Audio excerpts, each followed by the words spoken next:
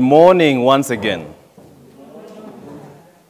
I want to take this opportunity to be grateful to God on this day that He has allowed us to be here as animators of the young child in the church. And this is where I want to invite every one of us to take some time and be attentive, at least to learn something about yourself before you go to teach. Have you ever realized that sometimes we are in charge of a group that we don't know what to do with them? How many of us have had challenges dealing with young children, wherever you are? Ni wangapi ambao kwa njia moja au nyingine tumekuwa na changamoto kufanya kazi na watoto katika kanisa au hata nyumbani? Wangapi tuko wazazi hapa? Ongereni, chipikieni makofi. Mswahili alisema hivi, kuzaa si nini? Sio shida au sio kazi. Kazi ni nini? Hebu jipigieni makofi sababu mliamua kufanya hivyo. Leo hii basi, wakati ambao tumeitwa kutafakari pamoja yale ambayo yanawahusu watoto, ni vizuri kwa pamoja tuweze kujifunza sisi kama viongozi au sisi kama wazazi, ni kipi tunachokipaswa kukifahamu ili tunapowaendea watoto wetu tuweze kuwasaidia kwa njia ambayo inafaa kuhakikisha wameafikia malengo yao ya maisha, ndoto zao za maisha. Father Dennis alikuwa na shida na watoto. Mi kwa miaka mingi nilikataa kufanya kazi na watoto hadi mwaka chana nikawa nimeenda katika kongamano kama hili. Msemaji mmoja alisema hivi, kwanza, ukitaka kujua maisha ya kesho yatakuwa namna gani, angalia wale ambao wanaokusunguka. Niliwaangalia wote waliokuwa wananisunguka, hiyo ilikuwa mwaka chana mwezi wa kumi, nikapata nilikuwa nafanya na kazi na watu wengi ambao ni wakongwe na wengine miaka katikati hapo. Kuangalia hivyo, nikajiuliza maisha yangu ya kesho yatakuwa namna gani? Nikachukua changamoto, nikarudi parokiani. Mwezi wa kumi na moja wote vile walifunga shule, nilikaa na watoto parokiani. Wiki ya kwanza nilianza na watoto ishirini. Baada ya wiki nne nilimaliza na watoto mia moja ishirini. Kila siku nikawafundisha, nikawasikiliza, na baada ya kuwasikiliza nikapata ya kwamba walikuwa wanalia. Nikaketi chini, chapta ya kwanza ya hiki kitabu nimeweka yale yote niliyasikia kwao, the cry of the young people. Baadaye nikawaongeresha nikawa nawaongeresha sio tu wazazi, lakini watoto wenyewe na yeyote anaye nafasi ya kufanya kazi na kuwasaidia watoto. Na ndipo nilipopata mwaliko leo hii kuja kupata kutafakari pamoja nanyi. Kitu kimoja nafahamu, mmepitia changamoto nyingi Kweli uongo? Na kama uchapitia changamoto, ongereni. Ni wangapi hatujapitia changamoto katika utumishi wetu? Tumesikia hapo mwanzoni wengine wenu mkisema yale ambayo mmeyafanya. Ngoro hii hatuchaachwa nyuma, au watoto ambao na mwalimu wao wanaigiza hiki kitabu. Kuanzia saa nne tuna shoot the play, na kesho tumewaalika wageni marafiki kuanzia saa nane mpaka saa kumi one hour, na ikiwezekana kwa wale ambao hamtafika, tutakuwa tunapeperusha moja kwa moja kwa mtandao au watoto wetu wakiigiza parokiani, atulali, kwa kuwa watoto au wale ambao ni wachanga ndio tegemeo la maisha yetu ya kesho. Ndio maana mimi na wewe ambao tumefika hapa tunapaswa kumshukuru Mwenyezi Mungu. Hebu chukua dakika moja ujiulize, mbona unapaswa kumshukuru Mwenyezi Mungu? Andika hilo swali. Why should I thank God that I'm here today? Why should I thank God that I am here today? Ukiona waandike na Kiingereza na Kiswahili na ile lugha unafahamu zaidi, sababu itakuwa kati yako na watu. Why? Mbona unataka kumshukuru Mwenyezi Mungu kwa njia ya kipekee leo hii? Kile nachokijua na ningependa wote tushirikiane ni ya kwamba wakati mwingi huwa tunakosea kuyaafikia malengo yetu kwa sababu ya mtazamo ambao tunao.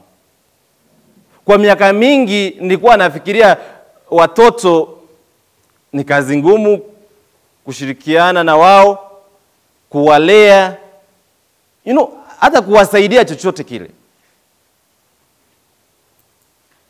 Lakini wakati niligeuza mtazamo wangu kwa hao watoto, nikaangalia kila mtoto ana uwezo wa kukua na apite zaidi ya matarajio yangu mimi, nikakumbuka wakati nilikuwa mdogo.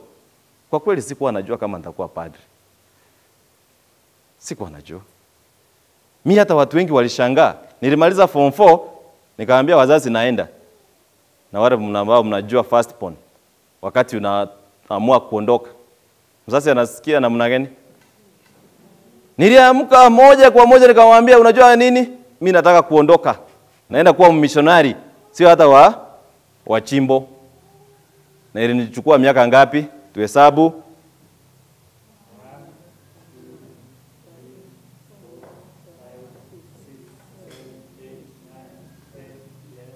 Mpaka nikaomba chirani vidole zake nihesabu ili niweze kukamilisha miaka ya 11 years. Wewe ulichukua miaka ngapi kabla hujaamua kuolewa ama kuoa? Uliza rafiki yako. Kabla ufanye uamuzi wa maisha ulichukua miaka ngapi? Nikwambie nini? Jinsi unavyoandaa kushughulikia ndoto yako ndivyo utakuwa tayari kuitimiza. Leo hii nimegundua hivi, ndoto ya watoto wetu inaanza wakiwa wachanga. Wakati tunawaelezea, wakati tunawaongeresha wakiwa wadogo, watambue kile Mungu amekiweka ndani yao, wana uwezo mkubwa mno. Miezi mbili iliyopita nikawa nimeenda kigangoni. Baada ya misa nikapata hiyo kichana mdogo, kaniambia Father, nataka uje kwetu. Nikashangaa, mbona nialika niende kwao? Akaniambia padre, nataka ukuje ubariki mama anaenda safari. Nikashangaa, nikaenda pale sababu mama angeweza kufika. Baada ya kukaa na wao kwa muda, akaona hiki kitabu kwa dakika thelathini akaketi akachora venye kipo picha hii. Sasa hivi kitabu kingine tunasindua kesho, huyo kichana wa form 2 ndiye amechora kafa ya hicho kitabu. kichana huyo huyo alikuwa anafanya vitu zingine kidogo kidogo ambazo zilimwezesha kupokea shilingi mia saba kila siku. Ukienda kwa YouTube utamwona, tumeweka hapo. Kwa hivyo tukiwaangalia watoto wana uwezo wa kutenda zaidi kushinda matarajio yetu. Ndio maana nataka uulize ama uandike hili swali, matarajio yapi unayo kwa watoto ambao unaowaongoza? What are the expectations of the kids you are working with? Are you someone who believes in these kids? Unaamini ya kwamba hawa watoto wana uwezo wa kufanya mambo mengi zaidi? Basi ndio maana leo hii kwa pamoja tuwatafakari kuhusu kugeuza mtazamo wetu ili kuwasaidia wale ambao ni wadogo au wale ambao wanahitaji mwelekeo kutoka kwetu. Na anasema hivi, unaweza ukamsaidia tu mmoja. Tumsifu Yesu Kristo. Naomba tu ujitolee, angalau uanze na mmoja, sababu una uwezo. Ukianza na wengi hautaenda mbali. Yaani ule ukipata mmoja, ukimwelekeza, akitambua, wengi watajifunza kutoka kwa nani? Ndio maana siku hii ya leo nami nataka angarau niguze mmoja wenu, ili akitoka hapa aendi akiangalia hao watoto, hata wakiwa na changamoto zao, akumbuke ya kwamba wana uwezo wa kufanya nini, wa kubadilisha maisha yao na kutimiza ndoto zao. Kwa hivyo sisi wote tuchukulie kuwa wazazi au walezi, na walezi tunayo jukumu moja ama majukumu yetu ni makubwa mno. Tumesema kuzaa sio nini, kulea ndio. Na waomba kanisa imewapatia hii nafasi ili kwa pamoja muwasaidie wazazi katika kazi yao ya malezi. Usichukulie tu umeletea hao watoto pale kanisani, umepatiwa nafasi utembee na wao kama mzazi. I've done it. I'll do it.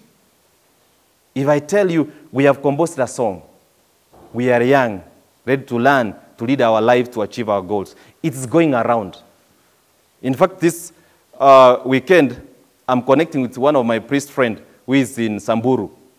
Aunganishe watoto wake wadansi hiyo song, watutumie, tuweke hiyo video kwa mtandao. Nilikuwa Supukia last weekend, tumefundisha wana youth hapo the whole day, tukaenda St. yelmo Secondary School, wameimba hiyo wimbo, iko kwa mtandao wetu. Watoto wetu hapo parokiani wamecheza huo wimbo, kwaya yetu ndio iliwaimbia hiyo wimbo. Sasa hivi inasunguka, we are young ready to learn, to lead our lives, to achieve our goals. Now, do you believe that the children need to realize their dreams? No, andika hilo swali. Unaamini ya kwamba hawa watoto wanapaswa kuelekezwa ili ku, kufikia ndoto zao? If you don't believe it, you better go and do some other work. Kwa hivyo ni jukumu lako na mimi kuwawezesha hawa watoto ambao kanisa imetupatia. Yani wewe umekuwa mama au baba katika kanisa na unachangia katika malezi. Mungu amekupatia wengi kushinda wale wako. Sasa kuna wengi wetu tunakuwa na changamoto na watoto wetu nyumbani, kweli au si kweli? Sasa wakati umekuwa changamoto pale nyumbani, unasema kwani mimi naenda kusaidia wa wengine na wangu wamekuwa nini? Wacha nikuambie siri, utakapojitolea hata uende ukasaidia wa jirani, jirani atajitokeza kuja kusaidia wa kwako. Ni mkono unaopeana ndio unafanya nini? Wakati Mungu amekupatia nafasi na unakaa nayo, unapoteza. Pili, ni lazima tuwe na shukrani kwa kipaji cha watoto. We need to be grateful because of these children. Kwa kweli hamwezi mkatarajia padri mwingine kama sio kutoka kwa watoto, ama ninyi mtaenda mkuwe mapadri na watao.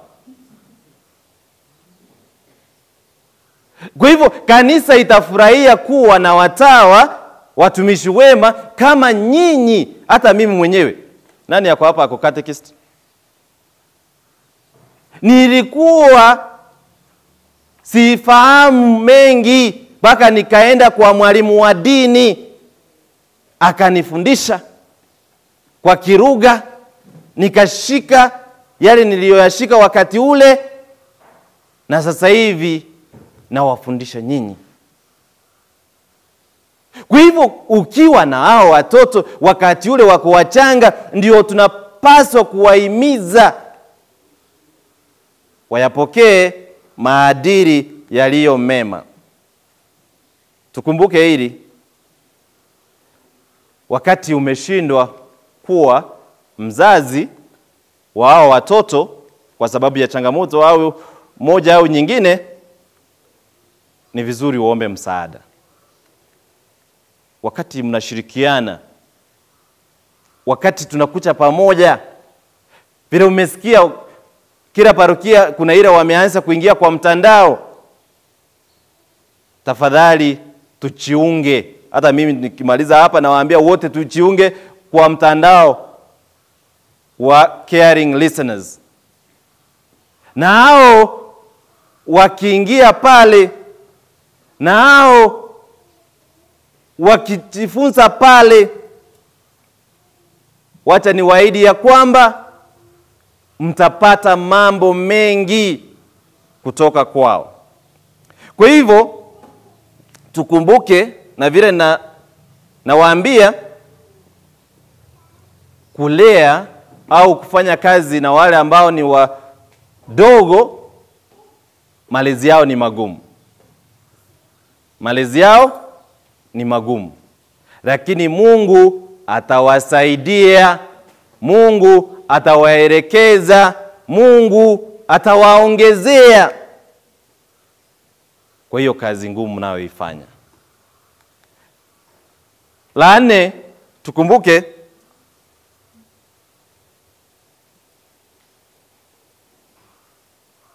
hakuna yeyote atakayempa mtoto wako the best apart from you. No one else who can give your child the best other than you.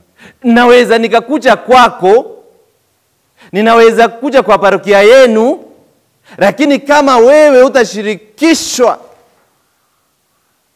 katika kuwahimiza, katika kuwasaidia kukua, haiwezekani. Kwa hivyo wewe, iwe ni kwa nyumba, kanisa inaanzia wapi?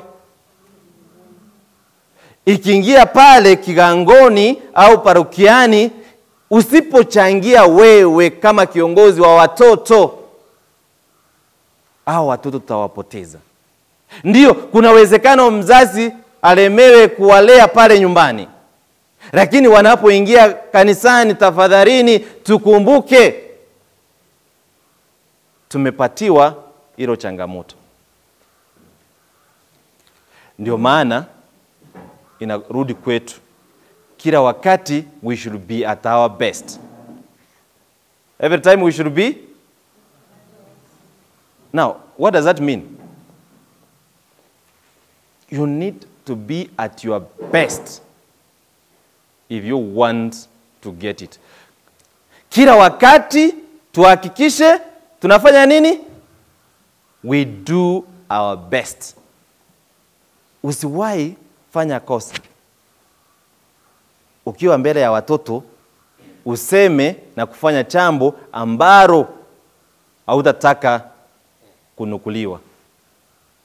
Don't do anything before children that you not wish to be quoted for. Twasikiri sana. Basi leo hii tukumbuke hili, a call to take the responsibility accompanying the young people as they take their journey in life. This Father Dennis, by the way, huyu hapa ni wapi? Eh? Baada ya kuwafundisha, sio Ngoroi, baada ya kukaa na wao mwezi mmoja, niliwachukua na nyuki, this pipe on the ground for another four days retreat. Every holiday I take young people for retreat. So hapa tumeenda tumeomba pipe on the ground. These are 70 young people from across the country. Hata kuna wenye wametoka Western. Huyo ni Father Dennis yako hapa hapa. Ukiwa na watoto unakaa wewe unakaanga ache ukiwa mbele ya watoto. Kwa hivyo tufahamu ni wito. Underline this word. Umeitwa kuwa mlezi wa nani? Wa watoto. Usilichukulie kimsaa au usichukulie hiyo kazi umepatiwa na kanisa kuwa sio ya maana. Tukumbuke kutoka kwa hao watoto twapata nini? Mapadri, watawa, Wakristu na kila mmoja. Kwa hivyo wakati tunaangalia au tunaangazia maisha ya watoto, John Dewey says this partiality is, as we have seen, an accompaniment of the existence of interest, since this means sharing, partaking, and taking side in some movement. All the more reason, therefore, for an attitude of a mind which actively welcomes suggestions and relevant information from all sides. Wakati tunafanya kazi na watoto, tunatembea na wao. Usiwahi enda mbele yao wakufuate nyuma. Wakati mnatembea na watoto barabarani, unapata mama, magari yanapita hapa na ndio mtoto ameweka wapi? Na ukipiwa mtoto ama mtoto akigongwa, kama njia ni magari yanapita hapa, mtoto anapasa kuwe mkono gani? Ili uweze kumwongoza, ili kuhakikisha usalama wake, akiwa upande, utaona kila anachokifanya, na usitake kukaa kila wakati nyuma ya watoto. Watakuwa wanafanya vituko ambavyo haujui. Kwa hivyo ukitaka kutembea na wao, uwasaidie wafikie malengo yao, hakikisha unafanya nini? Wako kando yako, sawa ili uwape nini? Kwanza ugeuze mtazamo wao kutoka kwa akili. Unajua kuna watu wengine tumeweka kwa akili, mimi siwezani na watoto, na ukafunga ukamaliza. Tumsifu Yesu Kristo. Na ikiingia kwa akili, wacha nikwambie, hata ufanye nini, kitakuchukua muda kabla uitoe. Lakini saidi wanahitaji nini? Mawazo na yale ambayo yanawahusu the information. Kuna mambo mengi yanafanyika, wakiingia mtandaoni wanadhani watayapata yote, asiwa wale ambao mmeanza kupokea video za watoto. Tafadhali usiwahi weka video ya mtoto katika mtandao bila ruhusa ya wazazi.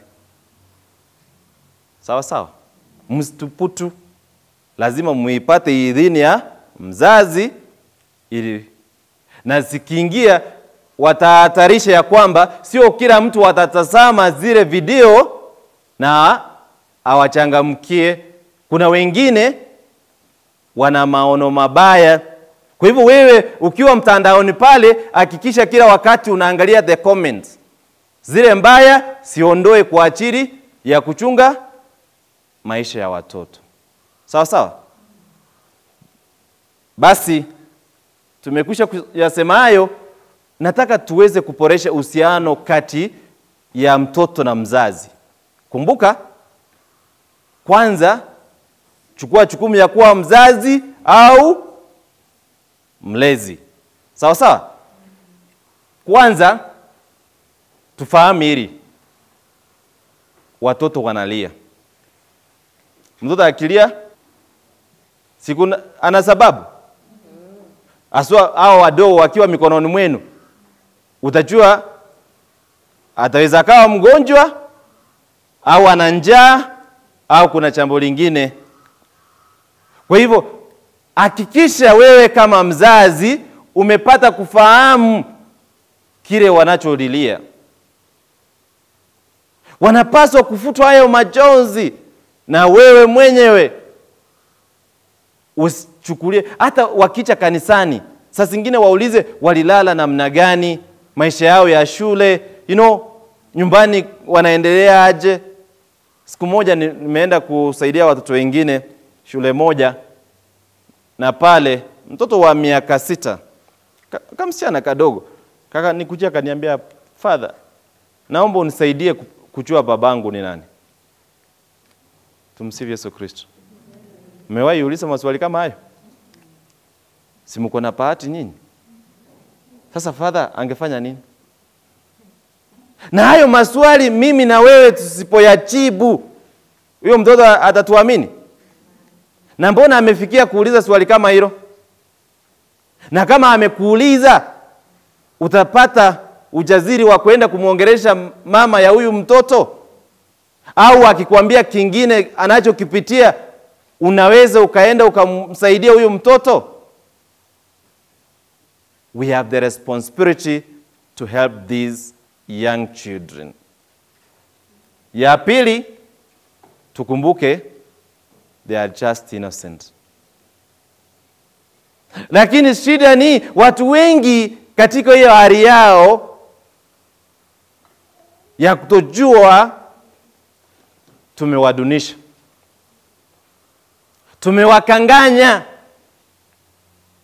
tumefanya maisha yao yamechanganyikiwa. They are innocent and if you lead any of them to get lost, you will take responsibility. Yeah, you should take responsibility. Ili ya tatu tukumbuke, sisi kuna wakati mmoja tumekosea kama wazazi. Remember poor parenting. Wakati wamekosa mama baba nyumbani, wakikukimbilia wewe, jukumu la kwanza ni kufanya nini? Kuwasaidia. Tafadhalini, kuwa wa kwanza kuwasaidia ili kuyafahamu yale ambayo wanahitaji. Tuko na vitengo vine hapa ya kuwa mzazi. Cha kwanza, kuwa mzazi kwa kumzaa mtoto au wale ambao siku hizi unalipwa unapepea mtu nini mtoto kwa njia moja au nyingine. Kuna wale ambao washasaliwa kwa hali hiyo, lakini wacha tuulize, kama Mungu hajakubariki na mtoto, kuna haja ya kuenda kufanya hii? Si ukupali tu. Ya tatu ni kwenda unatafuta mtoto umlee kama wako. Nakwambia hii ndio wengi wetu tutachipata, lakini yenye ambayo wengi wamechipata bila kufahamu ni gani? Ni gani? Si tumetazama runinga, miezi imepita chache, watoto wanaoenda shule ni wangapi wamepata mimba? Nani wameachiwa watoto? Sasa tukumbuke sisi ambao tumeachiwa watoto, usiende kusema mbona akafanya hivi, ili halitasaidia. Mtoto amezaliwa au hajazaliwa? Wewe kama mzazi, ni kipi ungesaidia huyo mtoto? Ni kutoa rawama Basi wanakuhitaji. Ndio tukumbuke ya kwamba mtoto mleavyo kuna uwezekano uweze kumsaidia mtoto ambaye umempata mahari kwa njia ambayo siku moja atakuja aseme wewe ndio mamangu au wewe ndio babangu. Ni wangapi ambao tumeonekana kuwa baba au mama kwa watoto fulani? Hakuna, na hamjawahi fikiria? Tafadhalini tukumbuke hao. Kuna wengi wanahitaji msaada wetu.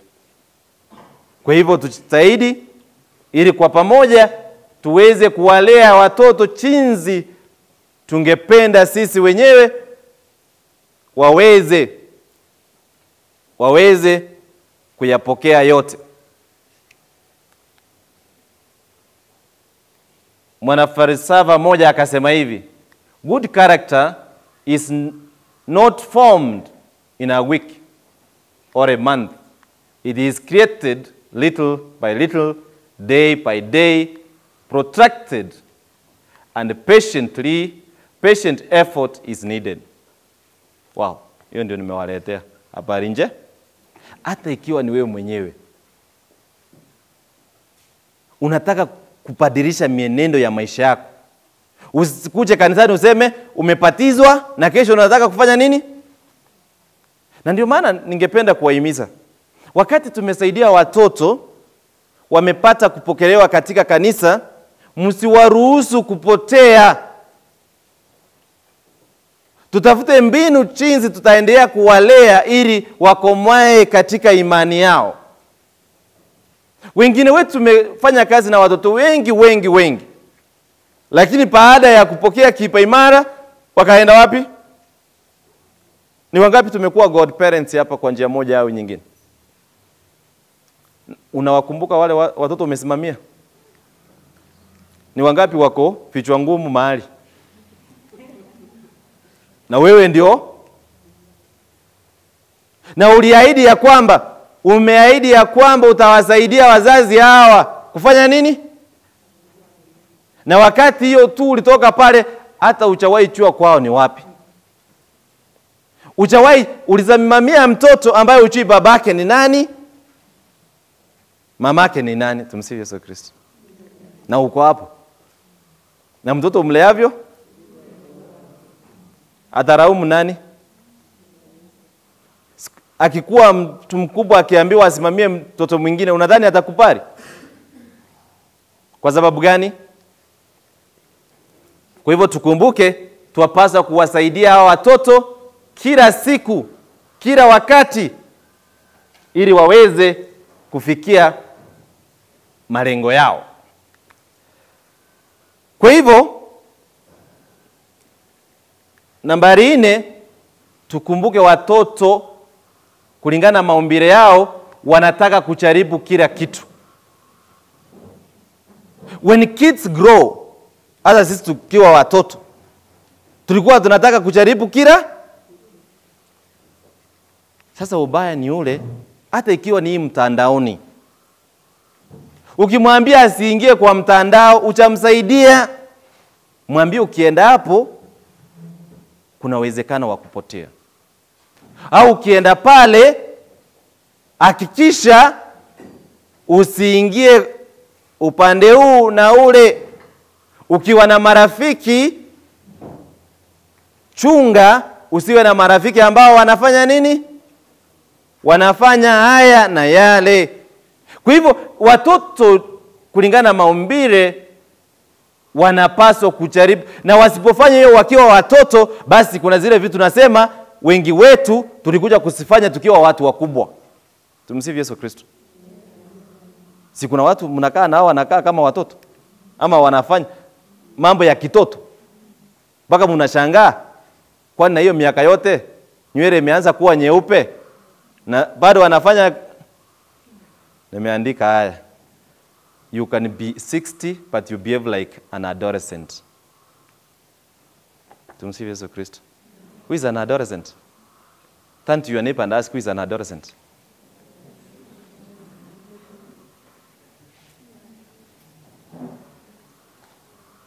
An adolescent, especially there are three stages of adolescence, the way I've said in my book.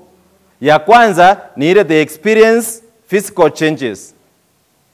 Ya pili wanaanza ku create mahusiano relationship and that is the age many parents lose it that is the age usipokuwa rafiki wa mtoto wako mnakosana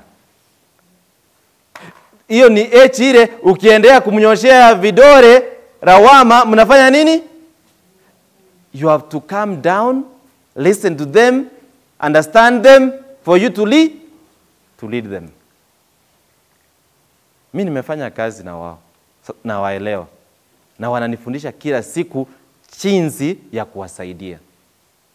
That's why in this book i finish with the chapter 5 which says when you have known yourself you can lead your life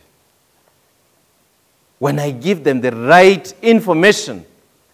Wakijaribu vyote nikiwaongoza nikiwa karibu na wao wanarudi kwangu wananiambia unajua father nilijaribu hii ikagonga mwamba. Namwambia okay.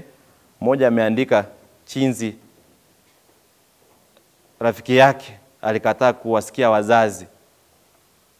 Akafuata wale wengine baadaye kwa bahati mbaya akapata mimba alikuja kupata machuto wakati alikuwa nyumbani miezi tisa na baadaye akapoteza marafiki wote alirudi kujifunza. Vivyo hivyo tukumbuke ya kwamba tuwape nafasi.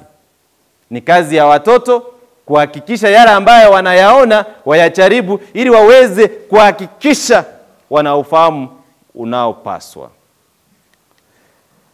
la tano wazazi wanapaswa kusaidiwa. Usiwahi taka kusaidia tu watoto bila kufuatilia maisha ya wazazi wao. Wakati tunawahimiza watoto wakati tunawafundisha kanisani wakati tunaona upungufu wao ni lazima sisi kama walezi tuwafuatilie tuhakikishe kuna mahusiano mema kati ya mtoto na mzazi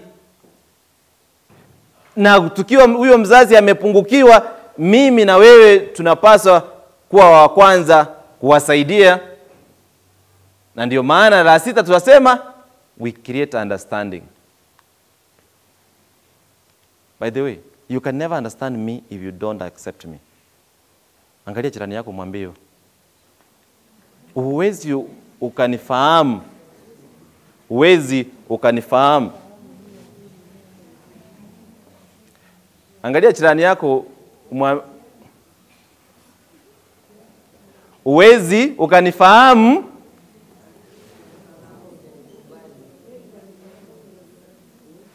Yes. Hata ikiwa ni maisha ya ndoa ukiwa na bwana akona kichwa kidogo au kubwa ukiwa tu unaangalia mtu unaona makosa ukiingia kanisani kila mwalimu unashirikiana yeye ajui wewe ndio unajua. Kuna watu wengine tumeumbwa yaani njia ingine ya achapu achapu wewe mungu lakini sio mungu hiyo wewe ndio umechiwekea chenje tu unaona ni upungufu wa watu na unachidai wewe ndio kiongozi wao. We need to create understanding you can only create understanding that doesn't focus on perfection. Can i tell you one thing? If you think that you are at your best today you have refused to grow. Ambia jirani yako hivyo. Ukifikiria ya kwamba umehitimu umefika mahali unataka kufikia umefanya nini? Umekosea kama umekosea usiwahi kosesha watoto. Kwa kufikiria ya kwamba where they are today that is their best no i believe this. Every day is an opportunity to grow. Kila siku ni nafasi ambayo tumepatiwa kufanya nini? Ndio ya saba ponding ponding hakikisha mnasaidia watoto kuwa na mahusiano mema kanisani mbona you know, umewahi ona watoto wakifika miaka fulani wakianza kuingia na vikundi zingine unapata sitaki kusema in any case one of us may be eti mlienda party party after na ukatoa Bwana hapo. Tumsifu Yesu Kristo. Ni wangapi tumetolewa kwa pati ama rorasho na ile ingine mulikuwa ni gani? Ama matanga? Mbona tusijitahidi ili ukiona watoto ambao umefundisha kwa wakati fulani wao wameoana? Inawezekana? Utakuwa umefurahia? Kwani kuna shida gani? Lakini sababu watu wafunzi waelewe urafiki unamaanisha nini, they don't pond They don't pond Okay? They don't.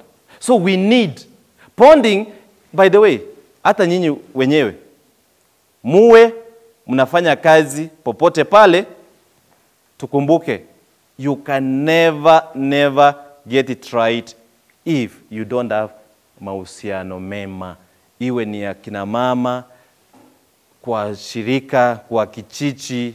You know, we need this, we need this bonding. Ndio namba ya nane tuweze kuwa committed. Like now, you said you are from how many parishes? 13. How, how committed are you for one thing? And what are you committed to? Kama viongozi wa watoto. What is your motto? Eh, angalia juu na mniambie. Kama viongozi wa watoto ni kipi ama lengo lenu ni lipi?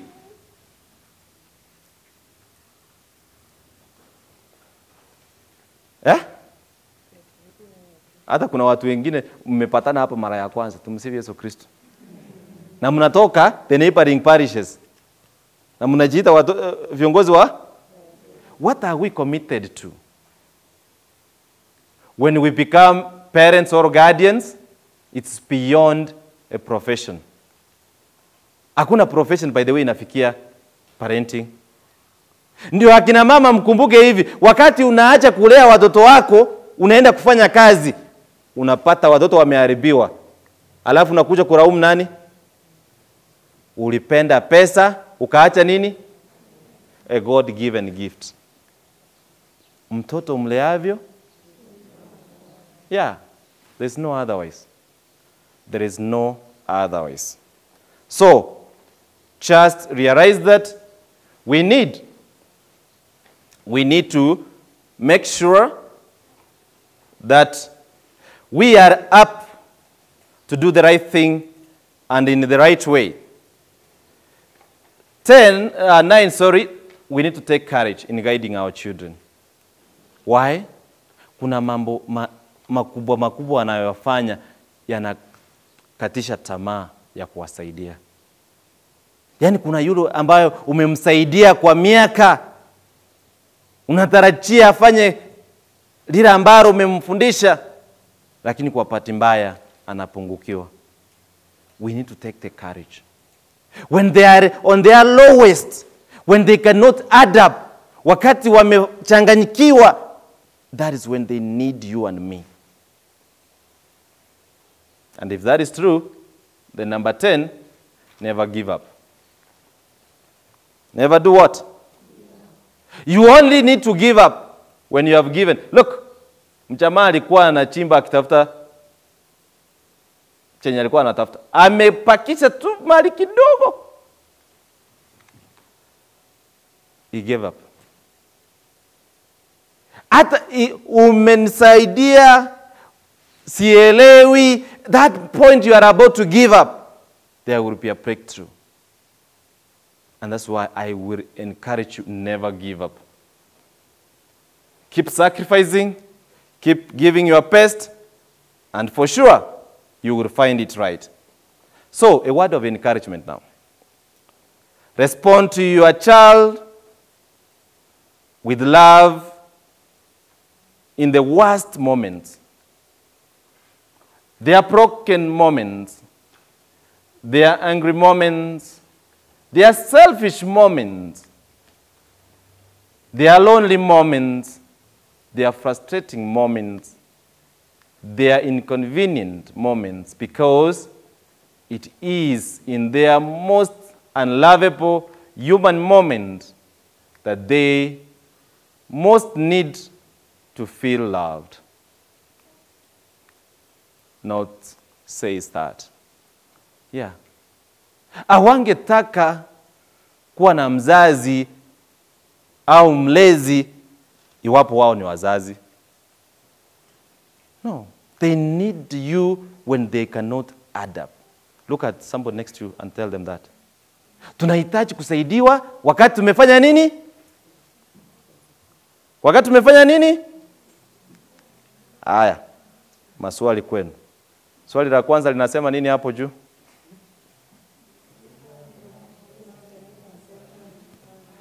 Eh, bua, soma kwa sauti. Uh, uliza, angalia mwenye mmeketi na yeye.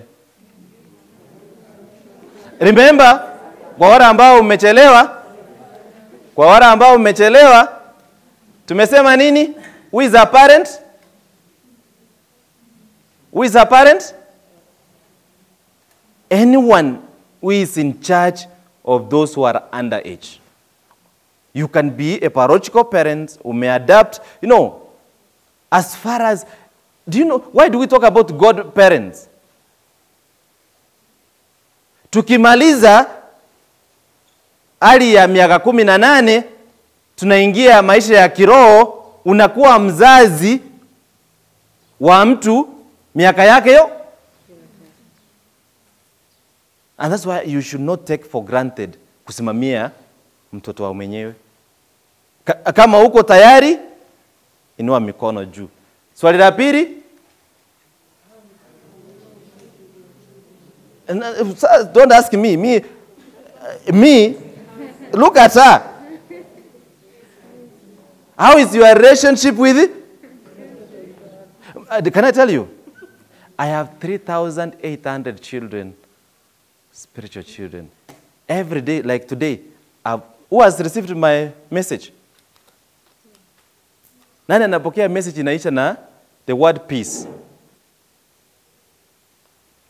Kwa hivyo watu wote you are disconnected from me. How, how I pray. Uh, anyone from Kachiado? Kachiado? Kachiado Parish? Uh, Kachiado Parish. I am connected with those young people there. Father Liniad, their group. The other week, we were with the, the youth from Gong Dinari. I have 3,800 contacts on WhatsApp. Kila siku naamka natuma my reflections. I have done it for the last four years. Feeding my spiritual children. And every day they are adding up. Au ni wa WhatsApp, niko namba zao za simu. Achana wenye wanafuata kwa Facebook na YouTube. Kwa hiyo uko na wangapi? Mungu amekuchalia wawili, lakini wanakupatia shida. Kwa sababu gani? Hauna ule hauna ule moyo wa kujitokeza kuwasaidia. So the fourth, uh, third question is what? What have you not? Underline the word not. Katika uhusiano wako na hao watoto unaweza ukashuhudia ya kwamba umefanya yote sawa. Umeandika hiyo swali na umeandaraini, uende ukifika baada ya hii, wakati tunaenda kwa kimya, jiulize hiyo maswali.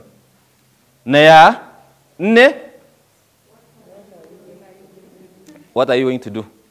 How many of us will go before those kids that we have messed up or charged in one way or the other and you ask for forgiveness?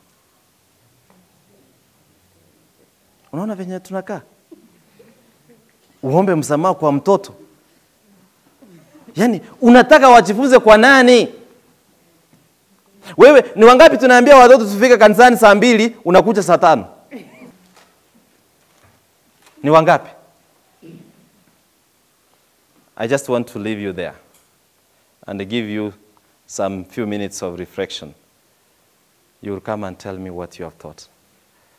What do you think? Any question before? I'm done. If you want to know I'm done, I'm done. Swali? Do you think that you are a parent? All that, by the way, is on chapter 2 of this book. Chapter 2 of this book is about change your perception for you to help the young people. Tell the, somebody next to you, change your perception. Change your perception. Mwambie, mwambie. Badilisha mtazamo wako ili uweze kumsaidia nani? Kama hamna swali, let us stretch for 5 minutes. You come back.